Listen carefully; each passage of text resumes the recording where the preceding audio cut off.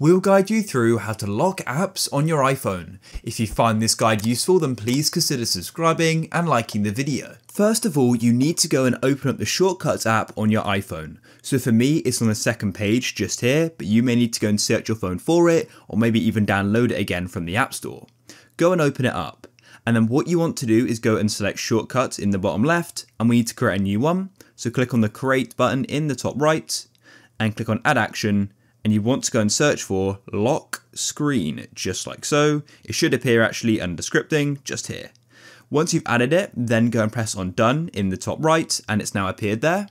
And then what we want to do is go and set up an automation. So now go and click on the plus button on the automation page, and you want to go and search for app like this.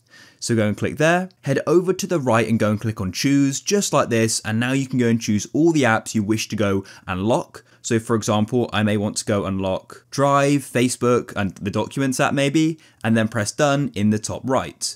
Then make sure is opened is selected and you can choose if you want a notification to be ran as well, I don't know, and then click next in the top right. And you now need to choose when any of the apps are opened what happens. So go and locate my shortcuts and click on it there, and then select lock screen. And that's it. Now, when any of those apps we selected are opened, our phone will lock. For example, here's Drive here, I'll click on it, and my phone then goes and locks. And the passcode or Face ID will then need to be entered to gain access to it, just like that. So it really does protect your phone if somebody else is using it.